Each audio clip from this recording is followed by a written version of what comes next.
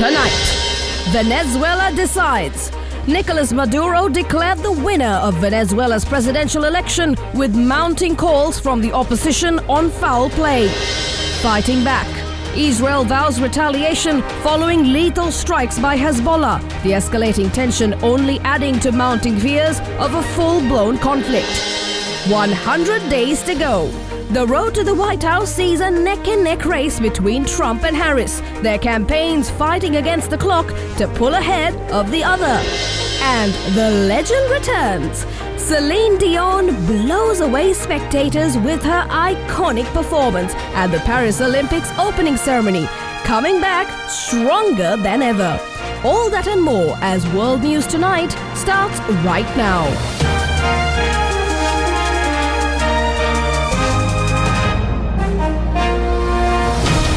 This is Ada Derana World News Tonight. Reporting from Colombo, here is Anuradhi Vikramasinghe. A very good evening. You're joining us on World News tonight at the start of a new week. Thank you very much for tuning in.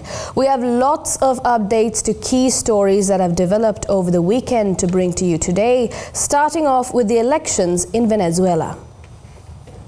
Nicolas Maduro was declared the winner of Venezuela's presidential election on Sunday, but the opposition and key regional neighbors immediately rejected the official results. The opposition coalition itself claimed victory by a large margin after an election campaign tainted by claims of political intimidation and fears of fraud, and following predictions by pollsters that Maduro would lose but was unlikely to concede after more than a decade in power. Both sides of Venezuela's Sunday election claimed victory in the early hours of Monday morning in a vote that saw accusations of underhanded tactics and reports of isolated incidents of violence. The country's electoral authority announced just after midnight that Venezuelan President Nicolas Maduro had won a third term with 51% of the vote, despite multiple exit polls pointing to an opposition win. Maduro then declared victory at the presidential palace in the capital Caracas. Soy Nicolás Maduro Moro, presidente reelecto de la República Bolivariana de Venezuela. The election authority said that with over 80% of ballot boxes counted, opposition rival Edmundo Gonzalez won 44% of the vote. They added that results had been delayed because of a quote aggression against the electoral data transmission system.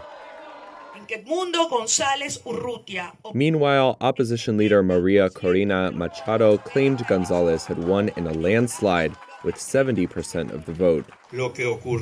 Gonzalez, a 74 year old ex diplomat known for his calm demeanor, made no concessions to Maduro in later remarks, but made clear that he was not calling for supporters to take to the streets or commit any acts of violence. The opposition alleges that the election authority, which is meant to be an independent body, acts as an arm of the government. Their call for Maduro contradicts multiple exit polls, including one from Edison Research predicting that Gonzalez would win 65% of the vote, while Maduro would win 31. Another from Meganalysis predicted a 65% vote for Gonzalez and just under 14% for Maduro. We applaud the Venezuelan people. U.S. Secretary of State Antony Blinken, speaking from Tokyo, called for a detailed breakdown of votes. In his victory speech, Maduro railed against foreign interference.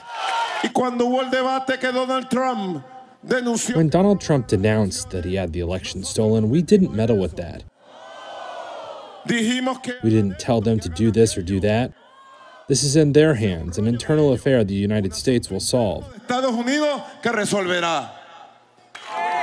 Machado, the opposition leader, also called on the country's military on X to uphold the results of the vote, saying, quote, It is time to put yourselves on the right side of history. You have a chance, and it's now. Venezuela's military has always supported Maduro, the 61 year old former bus driver and foreign minister. There were no public signs that leaders of the armed forces were breaking from the government. Typhoon Gaemi swept through central China's Hunan province, bringing record high precipitation to the county level city of Zixing.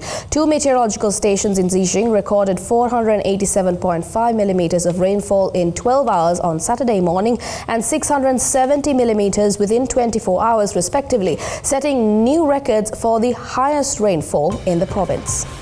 To ensure the safety of the dam and protect the lives and property of people, Zixing's Dongjiang Reservoir released floodwater at a high rate of 2,500 cubic meters per second on Saturday. Twelve towns in Chenzhou, a prefecture-level city above Zixing, were without telecommunications and 16 without electricity. Villagers in Chenzhou were trapped in their houses and some were swept away by the flooding river, but fortunately all were rescued. On Sunday, the provincial capital Changsha issued a red alert for heavy rainfall, the highest level in China's four-tier rain warning system. It also raised the flood response from level 4 to level 3. Severe road flooding in several areas of Changsha has been significantly disrupting transportation.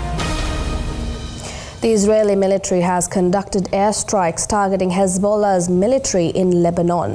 The airstrikes come in response to an alleged attack by the militant group on a football pitch in Golan Heights that killed 12 Israeli children and teenagers. Thousands of mourners joined a funeral procession on Sunday for 12 children who were killed in a rocket attack on the Israeli occupied Golan Heights. It marks the single deadliest attack in Israel or Israeli annexed territory since Hamas's assault sparked the Gaza war on October 7th. And it is fueling fears of significant escalation between Israel and Hezbollah militants in Lebanon. Israeli Defense Minister Yoav Gallant said he visited the town of Majd al-Shams early on Sunday, describing the site of the attack as, quote, a place where innocent girls and boys were murdered during a soccer game. He vowed to retaliate against Hezbollah for the strike. Hezbollah initially announced it fired rockets at Israeli military sites in the Golan Heights, but denied involvement in the attack on Majd al-Shams. There is no justification for terrorism, period. And every uh, indication is that indeed the rockets were uh, from, uh, or the rocket was from Hezbollah.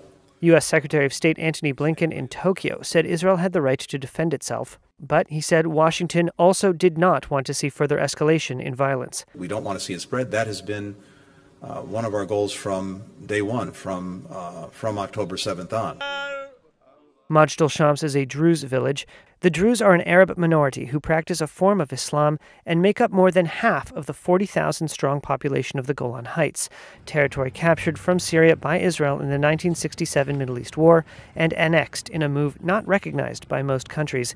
Israeli and Hezbollah fighters in southern Lebanon have been exchanging fire for months, but appeared to be avoiding an escalation that could lead to all out war. Saturday's strike threatened to tip the standoff into a more dangerous phase, and United Nations officials urged maximum restraint from both sides. The conflict has forced tens of thousands of people in both Lebanon and Israel to leave their homes. The joint meeting of senior officials from Israel, Qatar, Egypt, and the United States to negotiate a ceasefire in Gaza adjourned early, several hours after it began in Rome, with no apparent progress reported.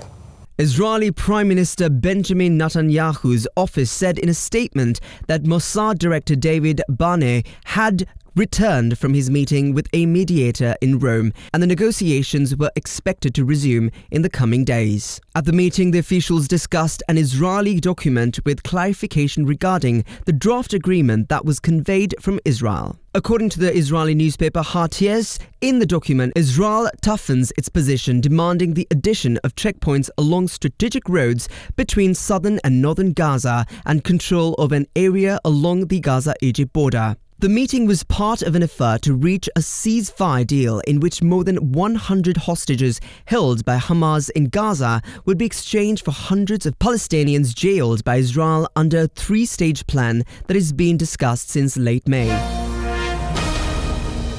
And over in the Korean peninsula to more systematically counter the provocations coming from the north, defense chiefs of South Korea, the US and Japan put their heads together in Tokyo over the weekend and sealed their first security cooperation memorandum. Defense Minister Shin Won-sik met with U.S. Secretary of Defense Lloyd Austin and Japanese Defense Minister Minoru Kihara in Tokyo on Sunday and signed a memorandum that institutionalizes trilateral security cooperation amid growing threats posed by North Korea. The Memorandum of Cooperation on the Trilateral Security Cooperation Framework aims to formalize high level defense talks, information sharing, and trilateral exercises to contribute to peace and stability on the Korean Peninsula and in the Indo Pacific region. The multi domain trilateral exercise Freedom Edge will likely take place more often. In the meeting, the three defense chiefs recalled their commitment to strengthening their cooperation to deter nuclear and missile threats posed by North Korea. They also expressed serious concerns about the regime's growing military cooperation with Russia. In a separate bilateral meeting with the US, both sides strongly urged North Korea to stop sending waste carrying balloons toward the south and condemned military cooperation between Pyongyang and Moscow. In a meeting with the Japanese defense minister, they agreed to establish an annual plan for defense exchanges and restart joint search and rescue exercises. The three defense chiefs agreed to hold the next meeting in South Korea next year. Let's take a short commercial break now. More world news on the other side.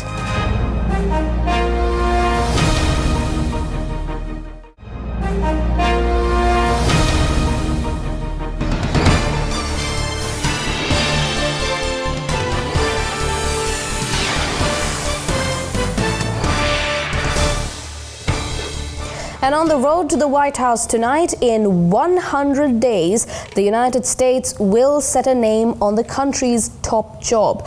Like recent polls indicate, experts say it's going to be a very tight race where both Donald Trump and Kamala Harris will push themselves in this 100 day sprint to the election. Tonight, both campaigns in high gear with no time to waste.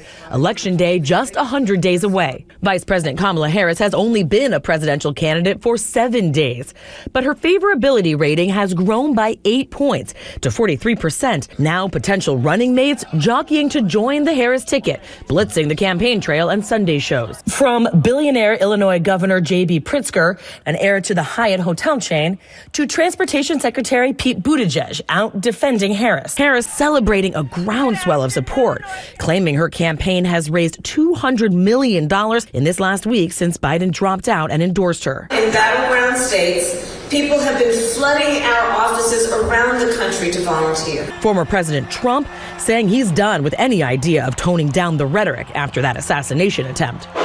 We have a brand new victim. And honestly, she's a radical left lunatic. Minnesota Governor Tim Walz, beloved by unions and also rumored to be a top VP contender for Harris, unfazed, arguing Republicans say every Democrat is too liberal. Trump's running mate, Ohio Senator J.D. Vance, today dismissing the scrutiny that he's faced for past comments that he made about not liking Trump.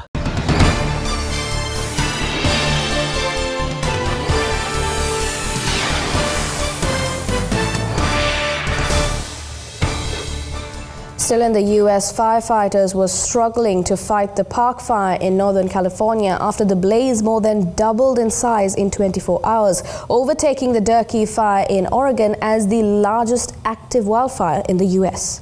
The park fire had scorched more than 350,000 acres, about 90 miles north of state capital Sacramento, as of Saturday evening, according to the California Department of Forestry and Fire Protection. More than 130 structures have been destroyed, with evacuation orders and warnings issued for communities in several counties. It was only 10% contained so far, authorities said, but cooler temperatures and more humid air were expected in the region, potentially helping efforts to slow the spread of the fire. A man was arrested on Thursday on suspicion that he started the park fire by pushing a burning car into a bone dry gully the day before. The size of the blaze has now overtaken Oregon's Durkee fire, which was the country's largest active wildfire. The Durkee fire has scorched nearly 290,000 acres in the state's east. It was set off by lightning on July 17th, with high winds fanning flames across brush, timberland, and ranches. It's among 45 large fires burning across Oregon, according to the state's forestry department on Friday. Meanwhile, the U.S. Forest Service said a firefighter has died after a single engine tanker crashed near the Falls Fire in southeastern Oregon. And now some updates on the Paris Olympics now. U.S. star power was in full effect at the Games. LeBron James led the Redeem team to an emphatic win over Serbia and Simone Biles fought through calf pain in a triumphant return to Olympic gymnastics. And today, Rafael Nadal and Novak Djokovic are playing after the Spaniard won on his return to tennis singles action. The duo has a combined 44 Grand Slam titles between them. Here's a look look into what's being played out at in the Games. A huge moment at this year's Games is underway in the men's single tennis tournament. Two of the greatest players of all time, Rafael Nadal and Novak Djokovic, are facing each other in the second round at Court Philippe Chatrier. The triathlon training swim has been cancelled for a second day due to poor water quality levels in the River Seine. On Saturday, data showed a huge increase in E. coli compared to the previous two days but organizers say the race will go ahead. Meanwhile, much is expected of the US women's basketball team at this year's Olympics as it bids to win an eighth consecutive gold medal. The squad's campaign gets underway against Japan. We saw a 14 year old win gold in women's street skateboarding final yesterday, and it's now over to the men. The men's street skateboarding finals is underway, and defending Olympic champion Yuto Horigome is one to watch out for. With the men's team gymnastics final is set to begin, the US will be looking to win its first team medal in the event since 2008. Malaysia has sent Russia an application to join BRICS. This was stated by Malaysian Prime Minister Anwar Ibrahim on X. He noted that the country's intention to join the association was the main topic of his meeting with Russian Foreign Minister Sergei Lavrov. And for more details on this, we have with us Ada Derana the World News special correspondent Nevanmi Ranasinghe from Kuala Lumpur in Malaysia. What do you have for us, Nevanmi? Thank you, Anuradhi. The head of the Russian Foreign Ministry visited Malaysia for the first time since 2015. Prime Minister Anwar Ibrahim had said in an interview with Chinese media that Malaysia will soon begin the official process of joining the BRICS. During his visit to Malaysia, Russian Foreign Minister Sergei Lavrov also held talks with his counterpart Mohammad Hassan. The Russian minister invited Mr. Hassan to Russia. The ministers also exchanged notes on the establishment of cooperation between the Foreign Ministry's Diplomatic Academy and the Malaysian Foreign Ministry's Institute of Diplomacy and International Relations. Back to you, Anuradhi. All right, thank you very much. That was Ada Derana the World News Special Correspondent Nevanmi Ranasinghe from Kuala Lumpur in Malaysia. Let's go in for a short commercial break. More world news on the other side. Stay tuned.